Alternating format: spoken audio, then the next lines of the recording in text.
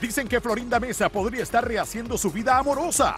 Se ha dado a conocer que casi tres años de que falleciera Chespirito, su viuda, la actriz Florinda Mesa, ha sido captada de la mano de este hombre y aunque hay quienes dicen que es su nuevo amor, la oficina de la actriz aclaró que tan solo se trataba de un fan que quiso tomarse la foto con ella. ¡Ay, sí! ¿Cómo no?